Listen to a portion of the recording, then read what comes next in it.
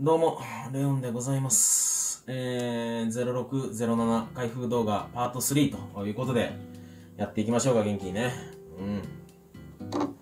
よいしょ。安倍さんの分まで頑張ろう。な。よいしょ。はい、以上。あいや、これかし誰ですかい？誰ですかい?ルシアのガジェッティ知らんな。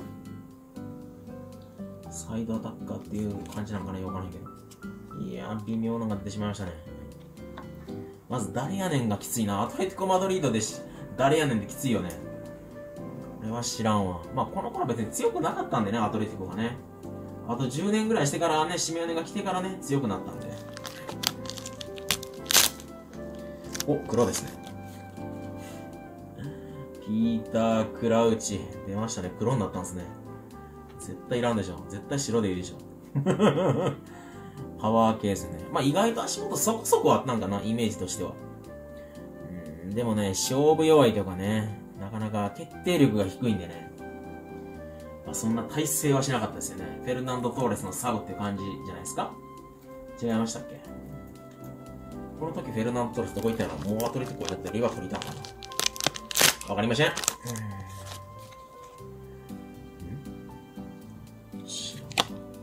ジェレイミー・プラン。なんかフランス代表におった気はするんですけど、そうですね、そこそこ能力高いですよね。能力高いっていうか、スタミナがあるっていうだけなのかなディフェンス13、ね、えー、スタミナ17。スタミナでごまかすタイプかな。そんなクオリティが高い選手ではなさそうやけど。まあでもテクニック14で書いてますね。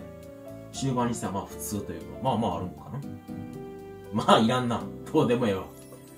でもこの時はリオンが強かったよね。何連覇かしてて、ずっとリオンのカードありましたよね。もうええやん、リオンみたいな。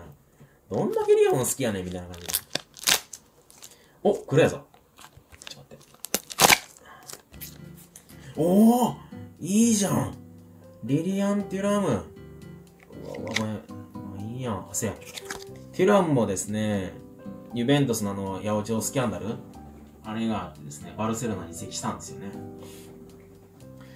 ねえ、もうそっからは全然調子がなんか悪かったです。まあ年齢的にもね、もう33、4とかそんなレベルでしたからね。うん。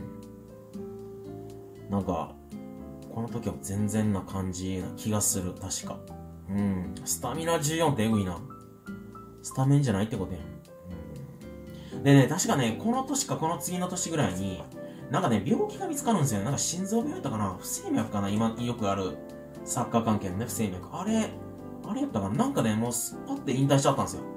あの、体に何かが見つかって、確か。うん。それがちょっと残念でしたけどね。まあでも歴史に名を残すプレイヤーですよ。だってね、あの、ワールドカップとユーロ取ってますからね。クラブではね、チャンピオンズリーグ取れなくてね。あイベントスが八百長疑惑だったんで、それはなかなかね、しゃあないですね。まだ誰やねんっていうのが出てきましたね。あ、あれか、ミクーか。あー、ミクーおったな。ジダン2世とか言われたな。どこがジダン2世やねんみたいな感じで。まあ、足元はそこそこあったんかな。フィジカル能力が低かったんですよね、彼ね。そう、スピードないし、パワーないしね。そう、テクニック18ってすごいよね。うわ、懐かしい。ミクーは懐かしすぎんな。これイタリアにもおったやん。どこにおったんかな？あ、パルマや。うん。まあでもフィジカルなかったんで全然活躍できなかったですね。あー、おったな、ミク。懐かしい。ジダン2世ってずっと言われてたからね。それは言い過ぎやろと思いながら。2世なわけないやん、みたいな。あ、白ですね。はい。誰ですか？パブロ・レデスマ。ボカ。あ、ボカもあってんな。能力低いな絶対いらんやろ。まあでも、何遍も言ってますけど、掃除でスタミナは高いんですよね、どのカードも。ね、あの、ゲームで使えるようにね。もう16、17ぐらいがスタンダードじゃないと多分ね、フルに持たないっていうバージョンやったんです、確か。プレスボタン押しまくってたら、みんなスタミナなくなってしまうみたいな。俺プレスボタン押しまくってた派なんで。なんだ、プレスボタンしか押してなかったんでね。フルプレスタイプやったんで。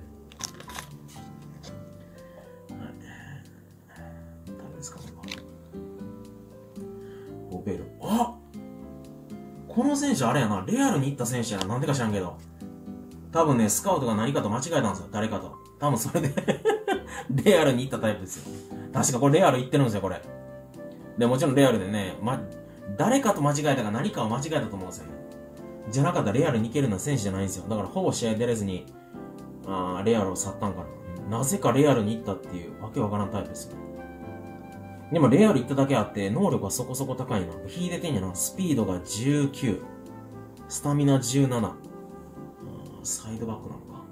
うーん。いや、これ確かにレアル行ってるんですよね。どこで使うの？あ、やっぱ右のウィングバックとか。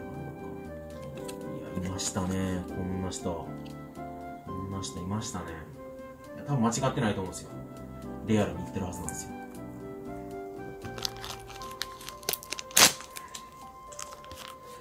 おう、兄ちゃん。香水で足を怪我して、香水の瓶で足を怪我して、ワールドカップ棒にした男。ミスター2番手やな。あの、スペイン代表でもカシージャスの控え、で、チャンピオンズリーグでもね、やっぱ優勝はできず、まあ、バレンシアやからっていうのもあるかもしれないですけど、うん、まあまあまあ、しゃあないですね、加にされちゃう。よく頑張りましたね、バレンシア。うっさいな、選挙か。よいしょ。いいな。知らんな。マランジュ。然知らん。ボルドーとかいらんやろ。なんでこの時ボルドーがあったんやよわからんな。微妙っすな。微妙カードっすな。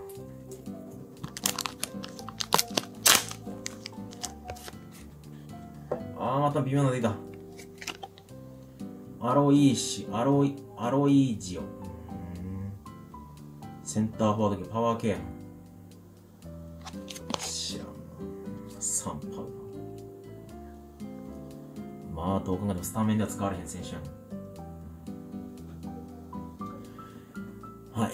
まあ、そんな感じで、えー、この、この、他何が出た？いいやつ。